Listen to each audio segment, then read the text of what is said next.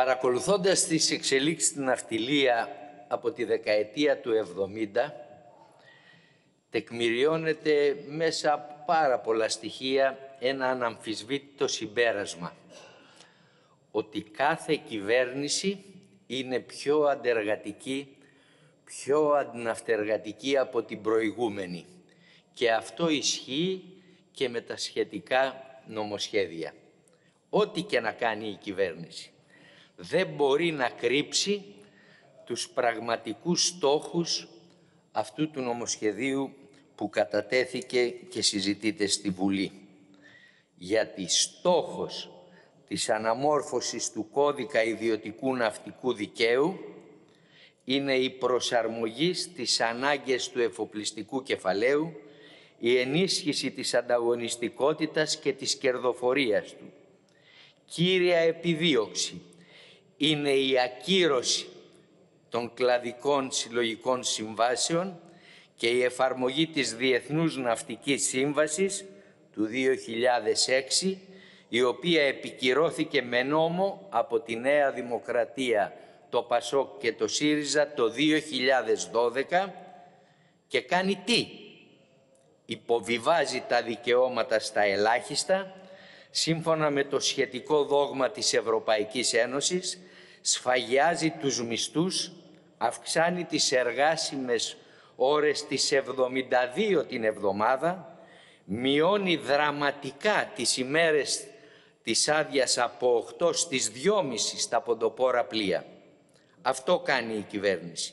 Παραδείγματος χάρη, με το άρθρο 165 για τους όρους ναυτολόγησης και το άρθρο 185 για τη μείωση των ημερών αδείας των αυτεργατών και βεβαίως και με άλλες διατάξεις που έχουν χαιρετήσει οι εφοπλιστές. Το Κομμουνιστικό Κόμμα της Ελλάδας κατέθεσε τροπολογία θέτοντας ένα κρίσιμο ζήτημα. Η Σύμβαση Ναυτολόγησης, οι όροι εργασίας και τα δικαιώματα των αυτεργατών να ρυθμίζονται μόνο από τις ελληνικές συλλογικές συμβάσεις που θα δεσμεύουν υποχρεωτικά όλους τους εργοδότες και θα εξακολουθούν να εφαρμόζονται ακόμα και αν έχει λήξει η χρονική διάρκεια ισχύως τους. Αυτή είναι η θέση των εργατών της θάλασσας.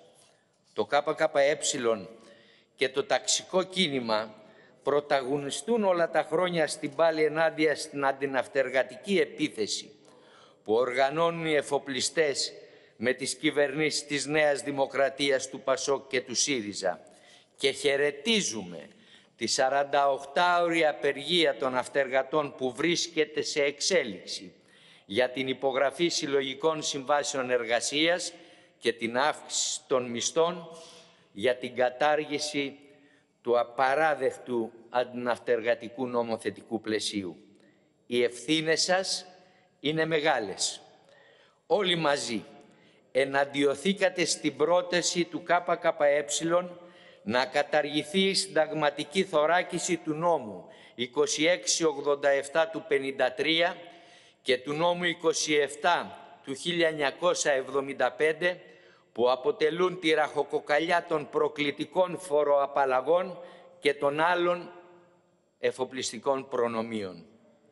Εισόδημα το οποίο προέρχεται από εταιρείες που διαθέτουν πλοία ελληνικής ή ξένης σημαίας εγγεγραμμένων στο ΝΑΤ εξαιρούνται από κάθε φόρο. Υποχρέωση ή παρακράτηση προς το ελληνικό κράτος. Αυτό προβλέπει η νομοθεσία σας. Όταν ο λαός που στενάζει από την ακρίβεια τους άθλιους μισθούς και συντάξεις πληρώνει τα αβάσταχτα φορολογικά χαράτσια, το 95% των φόρων του κρατικού προϋπολογισμού. Μαζί συμπράξατε στην κοροϊδία της αποκαλούμενης εθελοντικής φορολογίας των ναυτιλιακών επιχειρήσεων, σε συνθήκες τεράστιων κερδών, παραγγελιών νέων και αγορά μεταχειρισμένο πλοίων δισεκατομμυρίων ευρώ. Νέα Δημοκρατία, Πασό και ΣΥΡΙΖΑ είναι συνένοχοι για τις μειώσεις των οργανικών συνθέσεων και την εντατικοποίηση της δουλειάς των πληρωμάτων, τη μη υπογραφή της συλλογικής σύμβασης στα ποντοπόρα πλοία από το 2010, τις μειώσεις των μισθών και των συντάξεων κατά 40-50% και τη ληστεία σε βάρος του ΝΑΤ, τη διατήρηση του στρατιωτικού καθεστώτος, την υποβάθμιση της ναυτικής εκπαίδευσης και την καταπάτηση των δικαιωμάτων των σπουδαστών και των καθηγητών των ναυτικών σχολών, συμπεριλαμβανομένου του ΚΕΣΕΝ, που λόγω των ελλείψεων εκπαιδευτικού προσωπικού δεν μπορούν να λειτουργήσουν. Όλες οι κυβερνήσεις στήριξαν την απελευθέρωση της ακτοπλοείας και τη χειροτέρευση των όρων εργασίας και αμοιβή των αυτεργατών.